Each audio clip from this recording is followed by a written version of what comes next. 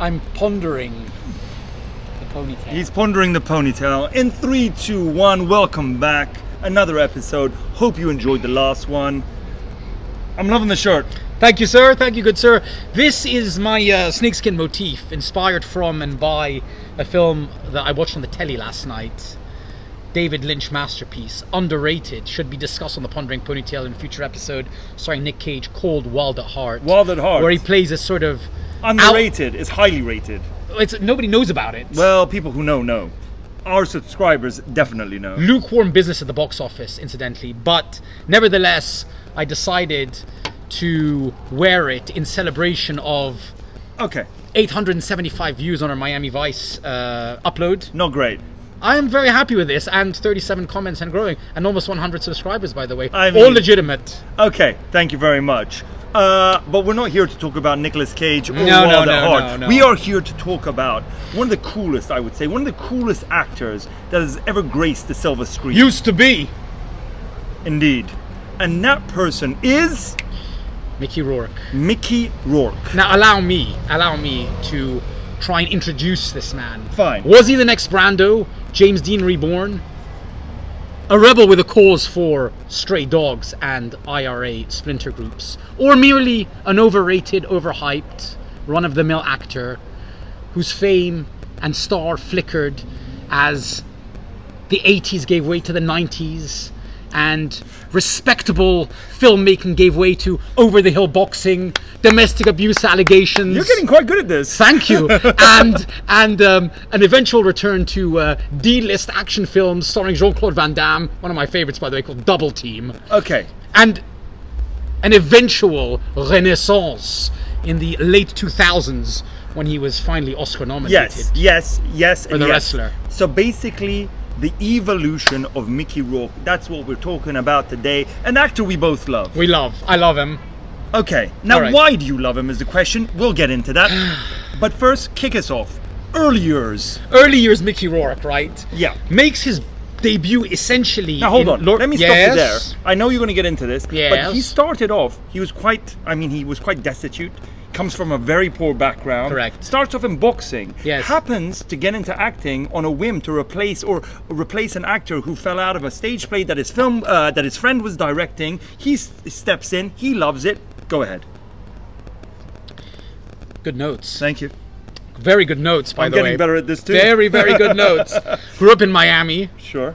Okay. Um, anyway, he makes his debut basically, his proper film debut, Yep. in one of the great erotic thrillers of the 80s, Body Heat. Body Heat. Which yes. Lawrence Kasdan directed, Right. very critically. Kathleen Turner. Kathleen Turner who like, and- and William Hurt. and William Hurt, a great film by the way. Richard Crenna of Rambo fame.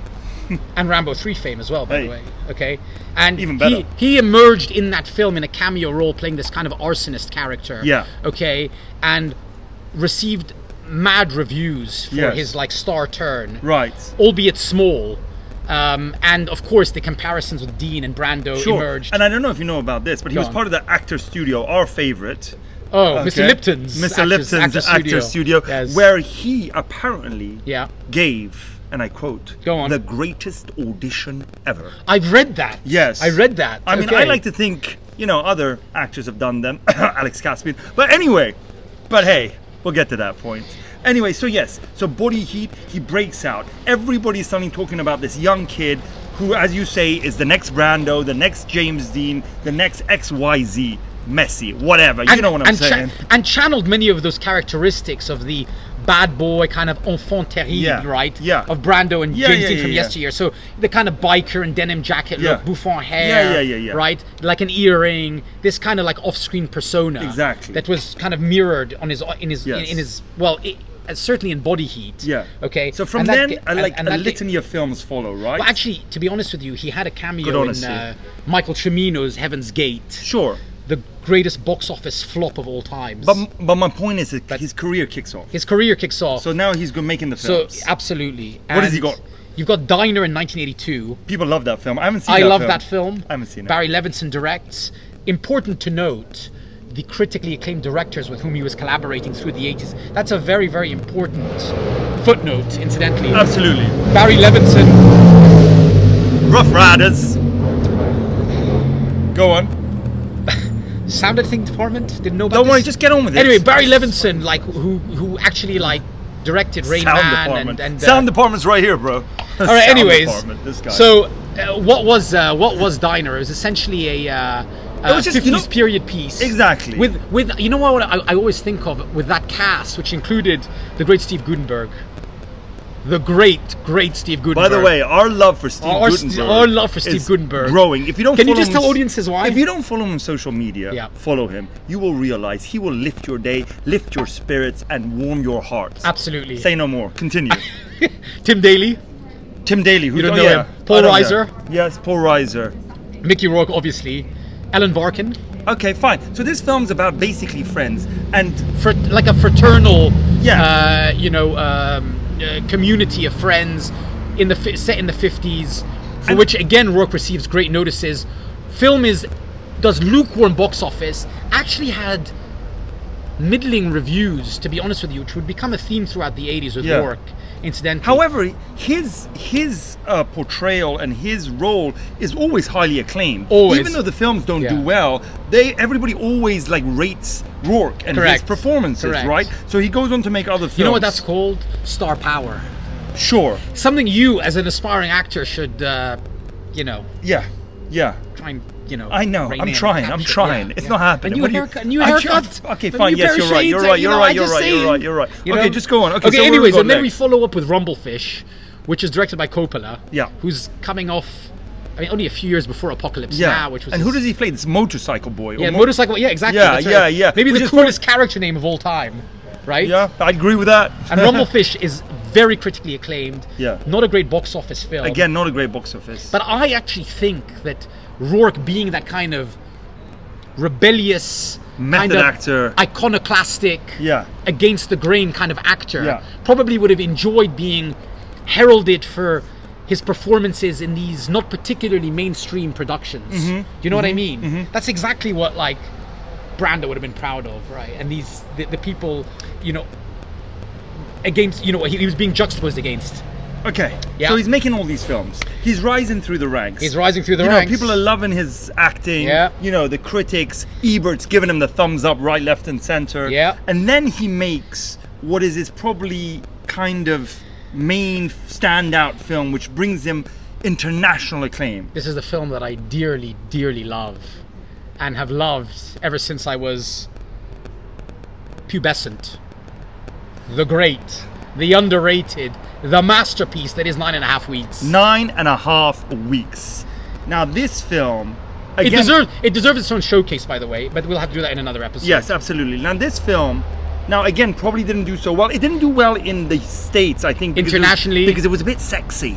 Yeah. It was a bit erotic, so they censored it hard. But so I guess you know, going into that film, since that's a big part of it, it didn't do so well. However, it didn't that the censorship didn't happen internationally, and thus did very well. I have to say, yeah, because it's dealing with kind of sadomasochistic, sadomasochistic themes, uh, degrading of women, and so on and so Well, forth. sure, that's a matter of opinion, but yes, I okay, think, fine. I, I mean, im- imagine in today's climate Yeah, yeah, how that yeah. would be received. Yeah. Um, but it was the original 30 year prior Fifty Shades of Grey. no, Fifty. Shade, Fifty Shades of Grey basically ripped it off. Absolutely. You know? I mean, the character's name is actually John Grey. There you go. I mean, talk about like Yeah. a, a rip-off. But that film, and I think it deserves a little bit of um, Who's in it? attention. Kim Basinger, Yes, looking good. the most beautiful uh, siren of the 80s. Yes. And of course, Rourke. Now, you love this film as well. I know I you, love, this listen. film. I love You this film. Go on, tell, not- give it don't, away. Don't, don't get me wrong. It's not like an amazing film. It's not like a must see. But the style of it for me is really what sticks out. I mean, he even has those little like details that then have been like copied and referenced time and time again. I mean, let's not even talk about the fridge scene. That's been like referenced to death. But even the things where he like his wardrobe with like 20 shirts exactly All the same color, all new. Yeah. His like all his clothes exactly the same, all of that kind of stuff, and just like his manner and the music and the style of it. It's it's it's really like you know people are like still like copying it to Uh, this uh, day. and- and you it's, know- it's like influenced so much. You know, we talked in a previous episode Yeah. about how um, uh, the cityscape in the film Heat Mm. was a you know a you know a key principal actor in Yes, the film itself. a character, I yeah. think New York. I think it, was, it must have been shot in the autumn months. Yeah, yeah, yeah, yeah. The yeah. whole film is It's like amazing. hues of grey. Yeah, with don't get New me York wrong. The story skyline. is not it's But- incredible, but like the Well, film it's actually itself. it's actually it- it's actually doesn't have much of a storyline. Yeah. Okay, but it's a film of it's a style over substance film, right? It's like one of the How many ultimate style days is nine and a half weeks? Um, Can you figure that out? two months and one week. Okay, well, regardless. anyways, anyways, how he looked The and reason how I she asked looked. that, I'm like, wonder if 500 days, uh, because like, the ni- relationships, uh, relationship lasts nine and a half weeks, right? Yeah, that's right. Yeah, yeah, yeah. And then you have films subsequently, even the title, like, what is that film? 500 Days of Summer. Also, like, you know, the period in which a relationship lasts. Six Days, Seven Nights, starring Harrison Ford and Anne Heche. Bosh. The late Anne Heche. He boshed it. He boshed it. You like that one? Yes, I did. Yeah, great So listen, film, yeah. this guy, let's get back to it. Mickey Rourke is basically got the world at his feet. However, And by the way, just because we always have to ask this, did you want to be him in nine and a half weeks? sure. Anyway, Zegna suits, okay. Bryan Ferry soundtrack. Yes. Right? And that one, And- there's a song and his the, apartment. I like bread and butter. You like toast and jam. There you go. Lots of good songs. Yeah, lots of- Luba, let it go. Okay. Let it go. Let it free your body, Is let it film? move, and you go. Is Yes, of course. Oh, wow. It's in the, f- the closing credits. You should know these hold things. On, hold on, hold Mr. on. Caspian. Hold on, that, that reminds me of something. Before And we go any further, before we go any further, Yeah. I need to come clean as a journalist. Yes. We need to be ethical and objective about this, and we le- need to let the audience know that we're actually friends with Mickey Rourke. Oh. And when I say friends, I mean we met him. Yes. And when I say we met him, I didn't even meet him. I wasn't there, but my friends met him. Okay. Well, you're not there. No, I had left because my Oh. shoe broke and my belt broke. Is one of those nights. Don't get me wrong. Anyway, our boy Hashi Poorly Pourmont, okay, Yeah. was having a night in the Wellington Club up the road, right? And who walks in at about 2 a.m.? Mr. Rourke. Mr. Rourke himself. And he is as cool AF. You know what I Yes. mean? With all the boys, taking shots, doing it up. What year? This was 2000 and... Hmm. Listen, Seven, there eight, are something like receipts. There are receipts. And they're photos. proof, and they're yeah, that's what I mean. That's what I mean when I he's not down with the kids. This one. Anyway, one of them is getting married. Yeah. Who's getting married? then. okay, one of them.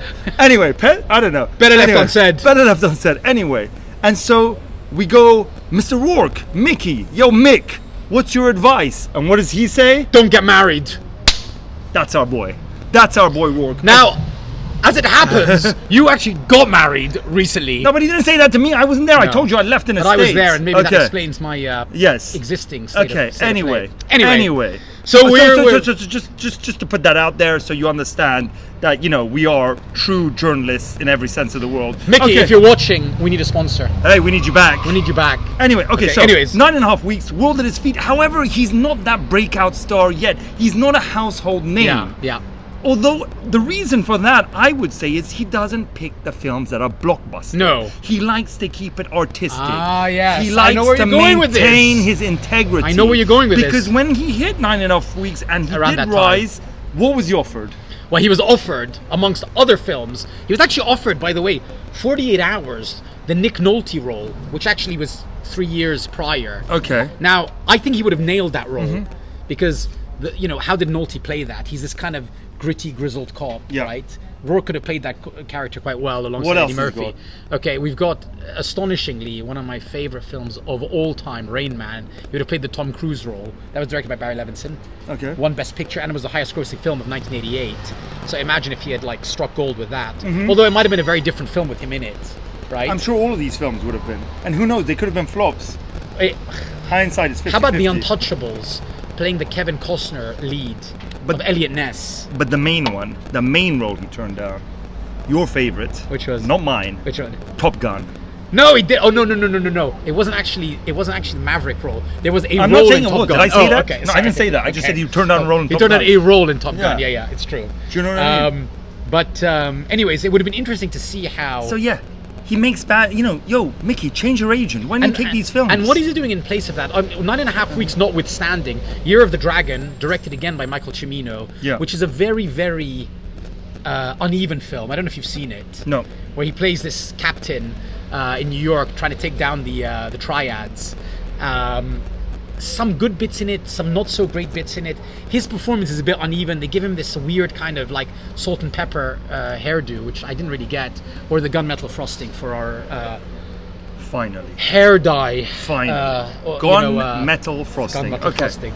All right. So Um, basically, so middle bit, and, but then th- then I have to say, in '87 or '88, Angel Heart, right. opposite De Niro, His hero, by the way, is De Niro, directed by Alan Parker, who's one of the great directors of the '70s and '80s.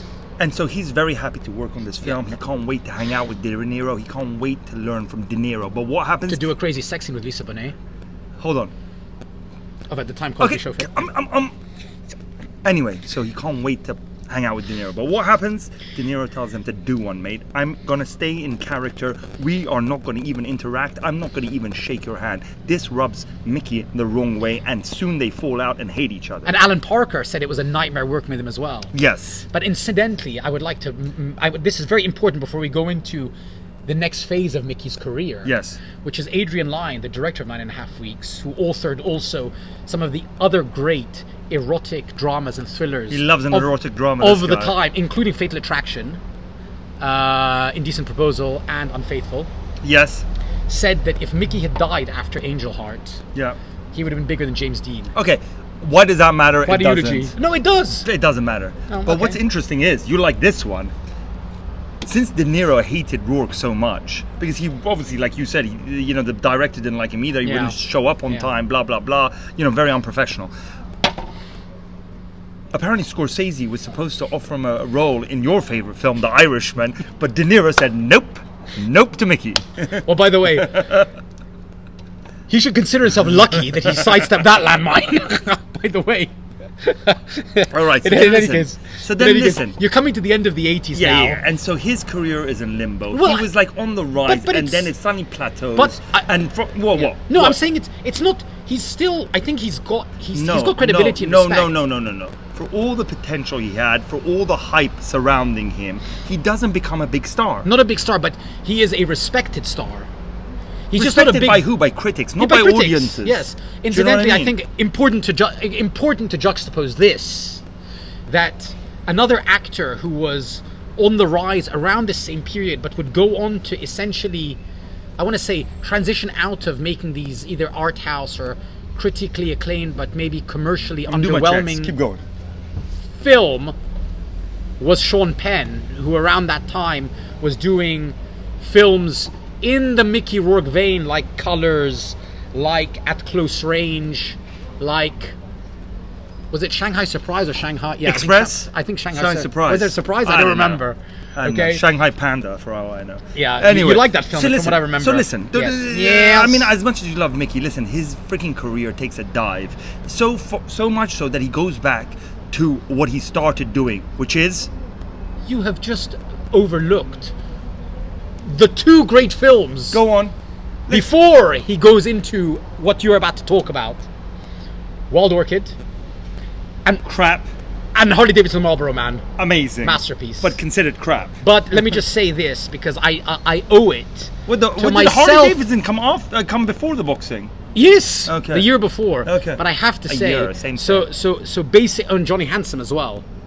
Those are three All right. important films. Johnny Handsome, where he's playing this disfigured uh, criminal at the start, whose face is kind of mangled, and then he gets betrayed and left for dead by his gang, and this expert surgeon basically reconstructs his face to look like Mickey Rourke at his you know prime Yeah. essentially and they don't recognize him the gang Yeah. which is a little bit of foreshadowing in reverse if i'm not mistaken did i get that correct I think so. because Mickey would then, in subsequent years, take his beautiful face and then rearrange it and kind of Well, mang- mangle it. yeah. Okay.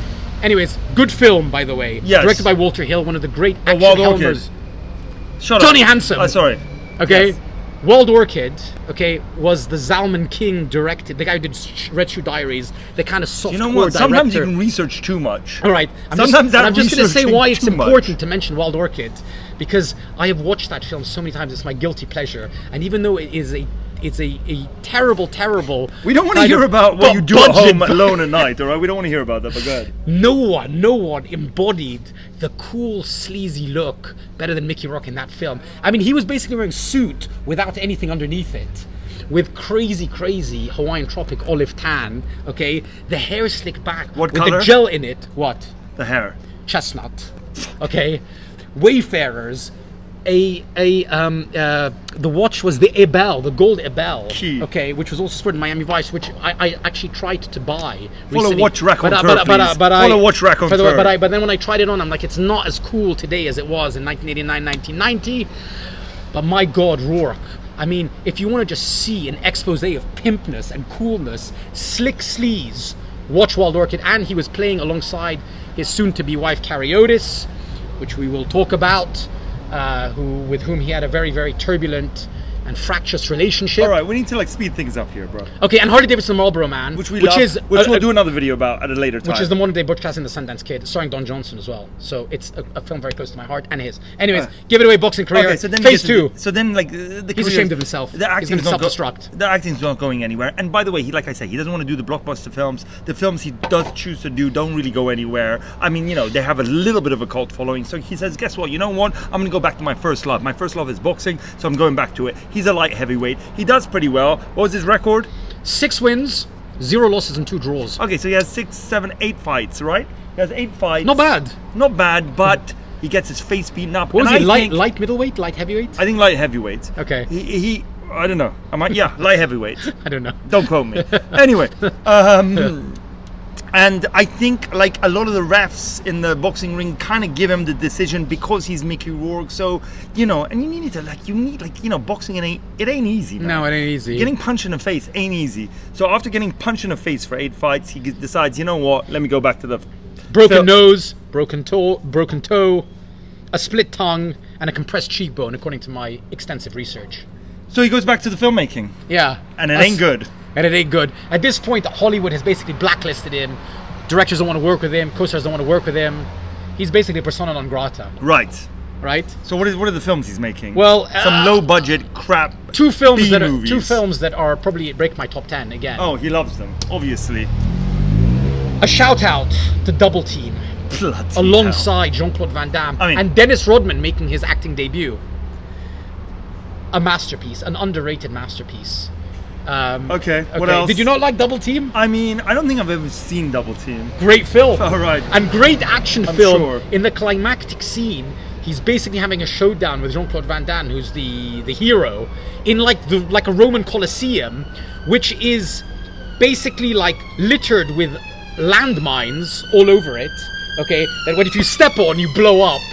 Okay, Okay. a baby is in the middle, which is Jean Claude Van Damme's baby that he has to rescue with all these landmines surrounding it in the Roman Colosseum, and then and then a tiger comes out and starts attacking. okay, this is great. great directing. Scorsese, Coppola, Yes. uh, Yes, Walter Hill. yes. Uh, who are the other directors? Barry Levinson. Take note. I don't know who directed it, but Cinema it's a ma- it's a- verite, it's- it ain't. It's a it's, it's a masterpiece. All right, listen. Let me tell you something for nothing. And at this point, we have to like you know, uh, kind of uh, note that he is no more this young, sleek sort of you know uh, ingenue, as if you will. Yeah, it's fine. He's more of like a heavy built, beat up kind of guy, and so he's Yeah. taking on those kind of roles. He's also starting to jack up as well during yeah, this period, right? on the juice, perhaps. Perhaps, but not a very good body, by the way. I have to say, for people right. like myself and Alex who like are into bodybuilding, he could have done better on this.